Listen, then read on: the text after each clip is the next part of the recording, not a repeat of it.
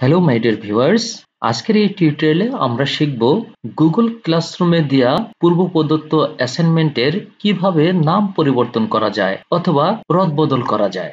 আমরা প্রথমে Google Chrome ব্রাউজারটি open করব, এরপরে আমরা চলে যাব গুগল ক্লাসরুমে আমরা গুগল ক্লাসরুমে দুইভাবে যেতে পারি। এই অ্যাড্রেস বারে classroom dot Google dot com লিখে ঢুকতে পারি অথবা এই থ্রি ডট যে চিহ্নগুলো রয়েছে এটাতে ক্লিক করে আমরা একটু স্ক্রল ডাউন করলেই গুগল ক্লাসরুম পেয়ে যাব। এখানে ক্লিক করেও আপনি গুগল ক্লাসরুমে ঢুকতে পারেন। তবে আমি এখানে এখন অ্যাড্রেস লিখে ঢুকতে চাচ্ছি। তাহলে classroom dot Google dot com এটা লিখে আমি এন্টার দিয়ে দিলাম কিবোর্ড থেকে।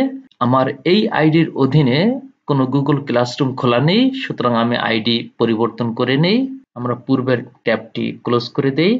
আমি যেসব ক্লাসের সাথে সম্পৃক্ত রয়েছি, সেগুলো চলে এসেছে। তবে আমি বিজনেস স্টাডিজ সি সেকশনে যে অ্যাসাইনমেন্ট দিয়েছিলাম, সেখানে কিছু রদবদল করতে চাই। তাহলে আমি এটাতে ক্লিক করলাম। যে স্ক্রিনটি এসেছে, এখানে চারটি অপশন রয়েছে। চারটি ট্যাব, দেখুন প্রথমে স্ট্রিম ট্যাব, তারপরে ক্লাস ওয়ার্ক ট্যাব, এরপর পিপুল এরপর গ্রেডস আমরা অবশ্যই ক্লাস ওয়ার্কে গিয়ে সব কাজ করব অ্যাসাইনমেন্ট সংক্রান্ত। তাহলে দেখুন ক্লাস ওয়ার্কে ক্লিক করার পরে আপনার সুনির্দিষ্ট যে অ্যাসাইনমেন্টটি আগে আপনি দিয়েছিলেন, সেটা স্ক্রল ডাউন করলে পেয়ে যাবেন।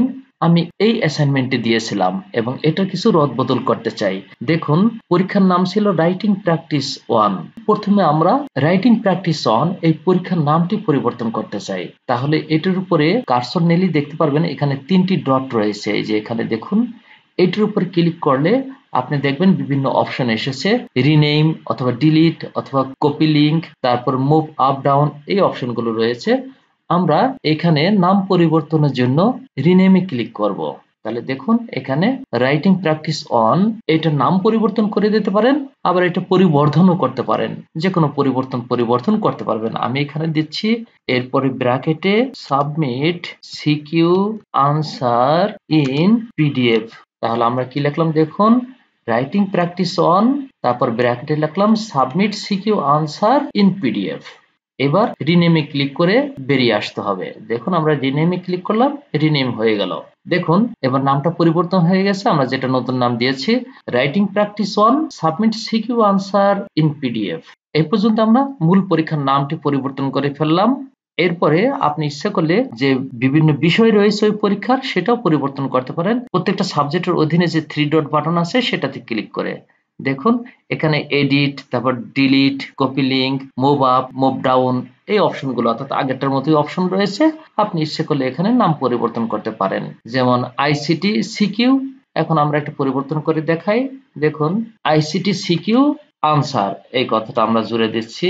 এখন সেভে ক্লিক করলে আপনি দেখতে পাবেন পরিবর্তনটি। ঠিক এখানে আছে আইসিটি সিকিউ আনসার ঠিক অনুরূপ ভাবে আমরা এইগুলো চেঞ্জ করে নিতে পারি। এডিট এখানে আনসার কথাটা লিখে দেই। সেভ করে নিন। এই কোনায় সেভ বাটনে ক্লিক করুন। বেশ হয়ে গেল।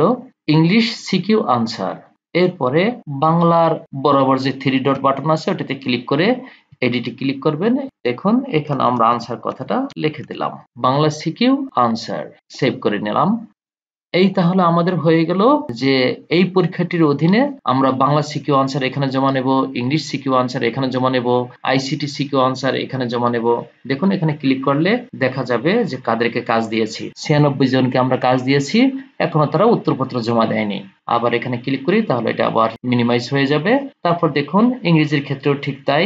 দেখুন, এখানে দেওয়া আছে ছিয়ানব্বই জনকে কেউ এখনও জমা দেয়নি, কারণ এটা পরীক্ষা এখনও হয়নি।